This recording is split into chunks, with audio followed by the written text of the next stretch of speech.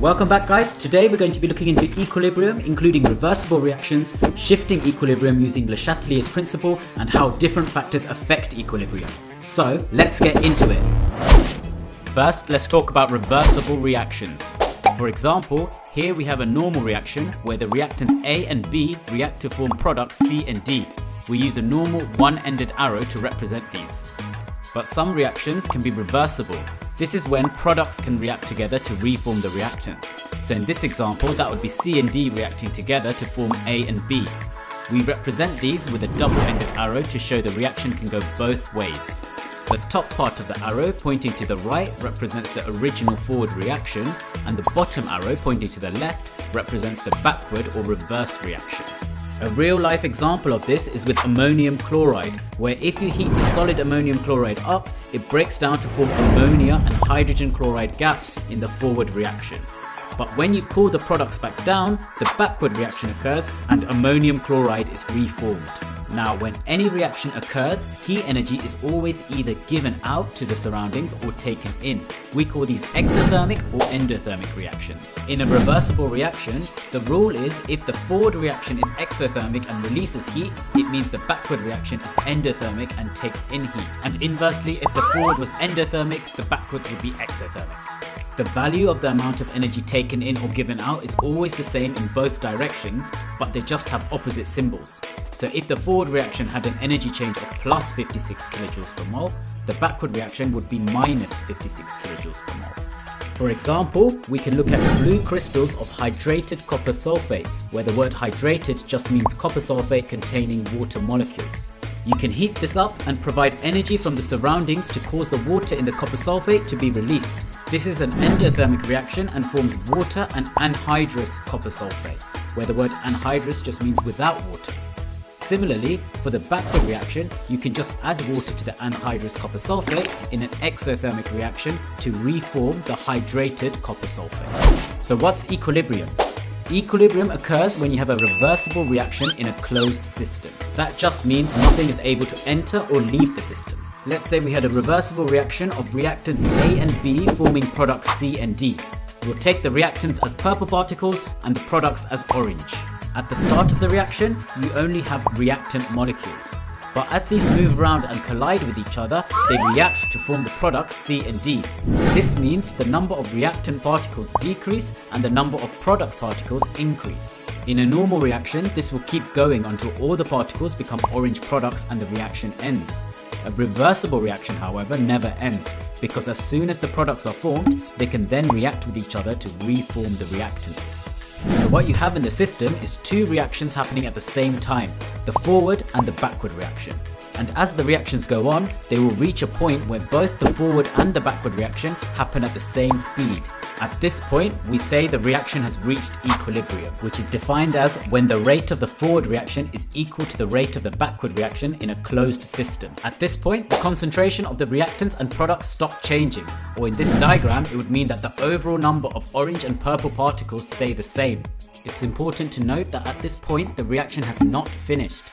The forward and the backward reaction are always still happening and the concentrations are just staying constant because the products are being formed at the same rate that the reactants are being formed. So let's look into shifting equilibrium.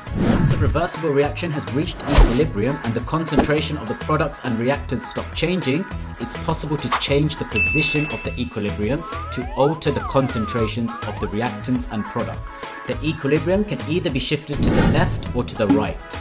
Shifting the equilibrium to the left towards the reactant side causes the amount of reactants to increase, which in turn decreases the amount of products. This means that in our mixture of particles, the number of purple reactant particles would increase and the orange product particles would decrease. And inversely, shifting the equilibrium to the right will cause the amount of products to increase and the amount of reactants to decrease, which will result in more orange product particles. You can cause a reaction in equilibrium to shift by changing the conditions it's in. For example, changing the temperature of the mixture by heating up the flask. you can predict which direction a reaction will shift by using Le Chatelier's principle. This states that if you change the conditions of a reversible reaction in equilibrium, the equilibrium will shift to try and counteract the change. So for example, if you were to increase the temperature of a reaction by heating it, the equilibrium will shift in a direction that will counteract the increase and decrease it as much as possible.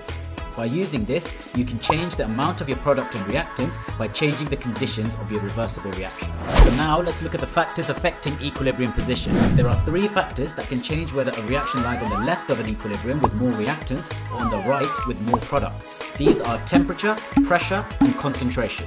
So for temperature, the direction the equilibrium shifts depends on whether the reactions are exothermic or endothermic. You can only ever have these two scenarios. If the temperature of the system is increased, the equilibrium will shift to try and counteract the change and decrease the temperature back down. So it will shift to the endothermic side because in endothermic reactions, temperature always decrease. Whether this is to the left or to the right depends on what scenario you have. If the temperature of the system decreases, the opposite will happen, where the equilibrium will try to increase the temperature so it will shift to the exothermic side because these are reactions where temperature increases. So if we were to look at a real life example and we're told that the following equation had a forward reaction that was exothermic, we can say that we have this scenario. If we were to increase the temperature of the reaction, the equilibrium will shift to the left hand side, so in your equilibrium mixture, the amount of nitrogen and hydrogen would increase and the amount of NH3 would decrease. Now for pressure, the direction the equilibrium shifts depends on the number of molecules either side of the equation. The reason this is affected by pressure is because the pressure of a gas changes depending on the number of molecules or particles you have in a system. A container with a lot of molecules will give a large pressure, but a container with fewer molecules will give a smaller pressure. There are three scenarios you can have. One where you have more reactant molecules on the left, another where you have more product molecules on the right, and the final one where you have the same number of molecules on both sides of the equation. You can tell the number of molecules a reaction has from the equations, where you can look at the big balancing numbers. In this example, the left hand side has 1 and 3 molecules, so that's 4 in total. And on the right hand side, you have 2 molecules. Therefore, you have this scenario. So if you have an equilibrium reaction and you increase its pressure, the equilibrium will try to counteract that change and reduce the pressure back to normal by shifting to the side with fewer moles and if pressure decreases, it will try to increase the pressure back by going to the side with more moles. So in this example, if you were to increase the pressure of the container with the equilibrium reaction, the equilibrium will try to counteract the change by shifting it to the right. This means the amount of NH3 will increase and the amount of N2 and H2 will decrease. Our final factor is concentration, which works differently to the other two. For example, if you were to increase the concentration of reactant A in the following reaction, you would have disrupted the equilibrium balance, meaning the reaction is no longer in equilibrium for a short amount of time. When this happens, the reaction responds and gets itself back into equilibrium and counteracts the change that was made to it. So in this example, it would shift to the right to reduce the increase in reactant A, which will in turn increase the amount of products. If you were to decrease the amount of reactants, the opposite would occur and the equilibrium would shift to the left. And you can use the same principle for changing product concentration. If you were to increase the concentration of product D, the equilibrium would shift to the left and counteract the change. And if you were to decrease it, it would shift to the right. And that's it for that topic guys. If you like this video and want to see more, don't forget to drop a like and subscribe to the channel. See you next time.